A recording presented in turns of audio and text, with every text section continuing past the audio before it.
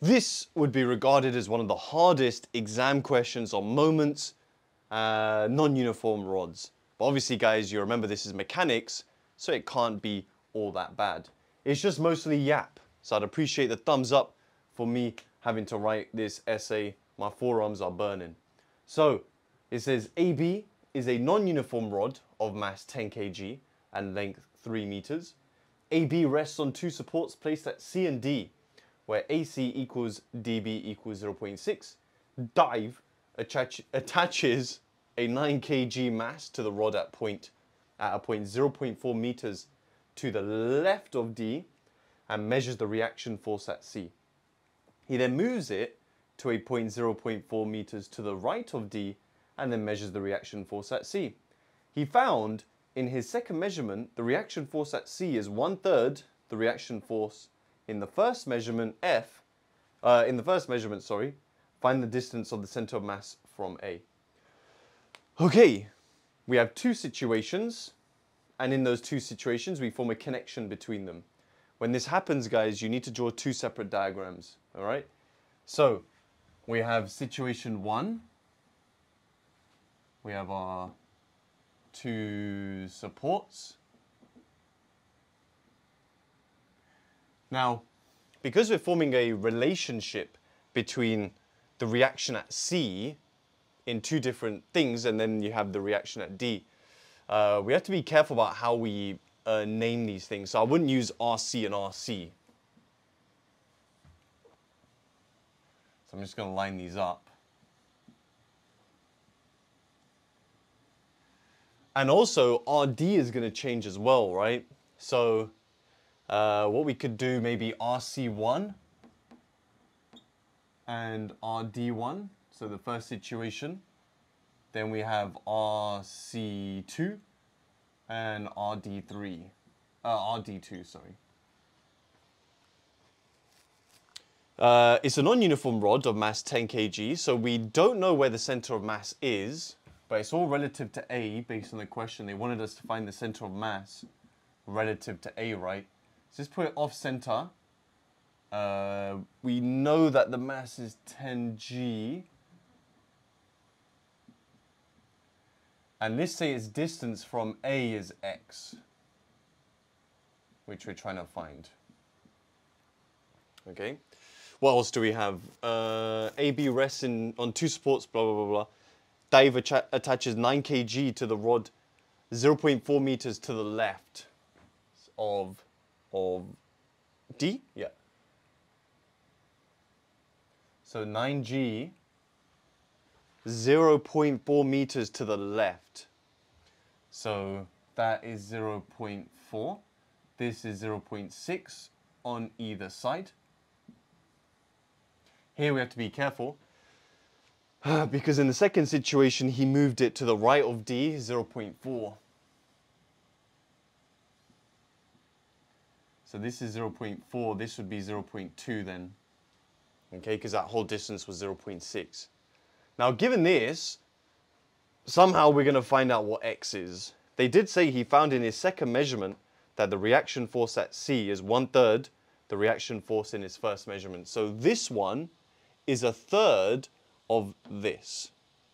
So RC2, so it's saying RC2 is one third of RC1. And it kind of makes sense, right? So over here, you can see both of these forces pushing down together. That reaction force is going to be much bigger than here. If we move that force over, it's going to want to tilt eventually, right? This way. So the contact force is going to be much less. I don't really like dealing with duds, so let's say three lots of RC2 is RC1. Now what we're going to do is just take moments and um, form the connection between them. Now, where would you guys take moments? Probably A, right? Or would it make actually more sense to take it from RD1? If we take it from RD1, so from here, then, which is at D for both of them, if we take moments while there, then we can get rid of those forces, right?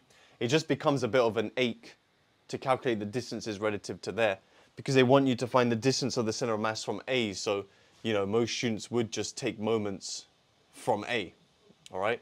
But it looks like here, guys, it makes the most sense to take moments from D in both situations. At least this is fixed. We can easily work it out, right? Okay, so let's take moments from D. Now, if we take moments from D, this 9G is going to be a anti-clockwise, and this 10G is also an anti-clockwise. So both of these downward forces are anti-clockwise, and the RC1 is a clockwise. Okay, so let's do the clockwise one first. So RC1, force, times this perpendicular distance from where we're taking moments from. What is that? Well, we just need this distance here between C and D. Well, we know, well, they told us in the question that the length of the plank is 3. So we have 3 minus 1.2. We're minusing 0.6 from both sides. 3 minus 1.2 is what, 1.8? Guys, I swear, I can't, I can't risk making a mistake here. 1.8, cool. Equals 0.4 times 9g. And what are we doing? This 10g. Okay, so this is where it gets a bit orcs. So, we need this distance. Okay, we need that distance.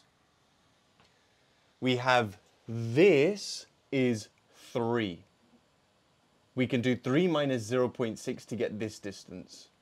So 3 minus 0.6 is 2.4. Then we minus x. So remember that distance is x. So we're subtracting 0.6 and x. Okay, now 3 minus 0.6 is indeed 2.4.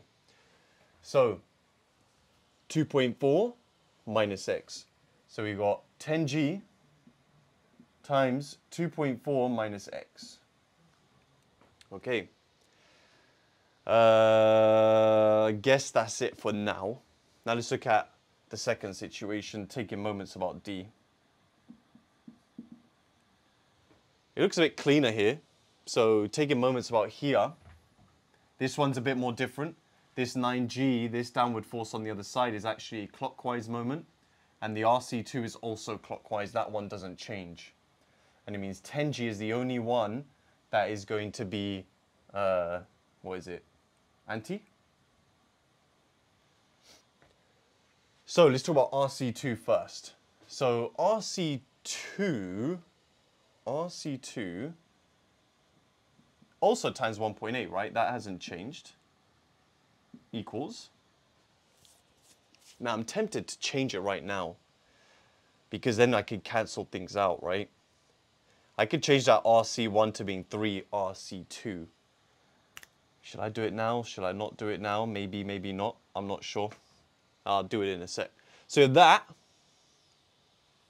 1.8 I said is the 9g times that distance 0.4. So it's the same as this one, it's just it's on the other side. Remember this one is together with this one, so we're actually adding it, equals that distance times 10g, which again is the same as this. Okay. Now from here, we need to get rid of these. And we could do that by, yeah, replacing that. I could move that to the other side. Man, which is the nicest way to do this? This would be much nicer on the other side and then dividing them, right? So, I think I'm just to have to write again, man, otherwise it's just to get so messy. So we have RC1. RC1 is 3 RC2. So this is 3 RC2. 3 times 1.8. 3 times 1.8 is 5.4. So equation 1 is becoming 5.4 RC2 equals 9 times 0 0.4, which is what, 3.6? Yep. 3.6 G and if you well, we're to have to start multiplying this out anyway, right? So we have 10 times 2.4 is 24g, 24g minus 10gx. Then down here, I have 1.8 RC2.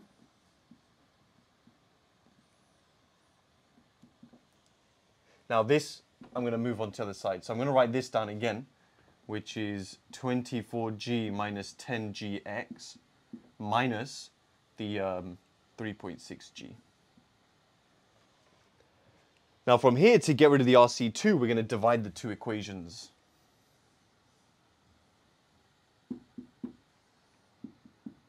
Which gives me 3, right? So 5.4 divided by 1.8, 3. So we just left with 3 is 3.6 plus 24. I'm just not risking silly mistakes here. 27.6 G minus 10GX, all divided by 24 minus 3.6, 20.4 G minus 10GX. Now something very nice happens here. The G's all cancel. And we times through. So, uh, I'm running out of space, man. I'm going to do it here, just as like writing it a bit small. So 3 times 20.4 is 61.2. 61.2 minus 30x equals 27.6. 27.6 minus 10x.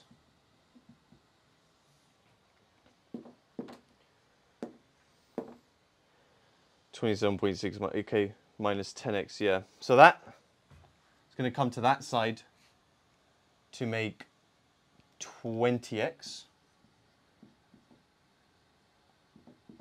equals 61.2 minus 27.6.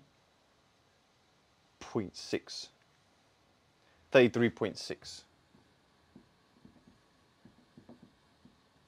X is 1.68.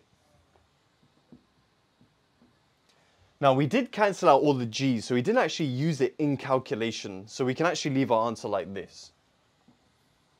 And that is a hella stressful question, I can't lie. But seven marks, it's all worth it. So guys, save this video because this is one of the hardest non-uniform rod questions they can actually ask you. Cheeky simultaneous equations and that. But guys, if you like today's video, if you learned something new, I'd appreciate if you hit the like button, subscribe for more maths content. If you're interested in my A-level maths courses, there is more details in the description. And feel free to join the LunGang Reddit page if you want to submit your own questions and get feedback from the community. I'll see you guys in the next video. Nice.